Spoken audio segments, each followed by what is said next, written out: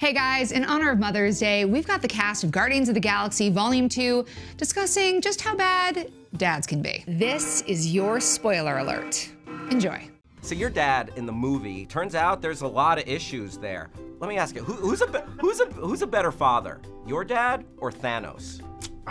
That's, they're both not great. I, I would say Ego. Okay. Yeah, Thanos Is, is really a bad dad. You alienated my favorite daughter, Gamora. You know, you think of Thanos. Out of the two children that we know he's he's raised, they've survived the the, the process, uh-huh. and they've become stronger. So, definitely, Thanos is the best. Thanks, Dad. What's re what's relatable here is the kind of emotional tale um, between the two of us, between Peter Quill and the and the father that he sort of created in his head because he was never there. Okay. And the only thing he's heard about him is that he's an angel or a jackass. Yeah. Turns out all the above. And uh, yeah, oh yeah, well that's why you get your Russell. Your father, well, he's something very ancient we've never seen here before.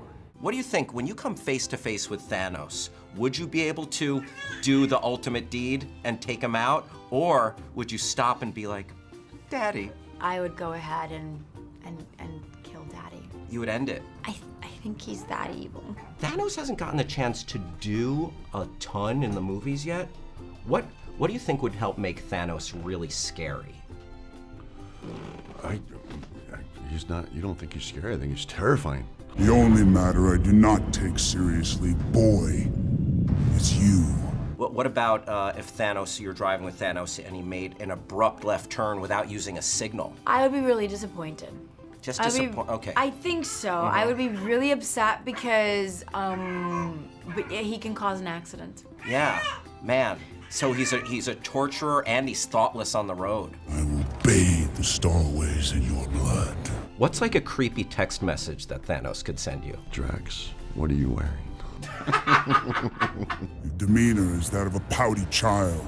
I understood why they were looking at me to play Chris Pratt's father, to play, uh, you know, to bring to bring to the table the right the, the right baggage, and um, sort of for once, I think I did. I, I think Yondu, Yondu sort of uh, spills the beans when he says at the end of Guardians 1 that he's a jack. Probably good we didn't deliver him to his dad like we was hired to do. Yeah, that guy was a jack. We want to know who do you think is a worse dad, Thanos or Ego? Comment below. You can catch Guardians of the Galaxy Volume 2 in theaters now. Of course, you can click here for more Screen Junkies news. You can tweet us at SJ News. Make sure to like and subscribe. And please, Call your mom.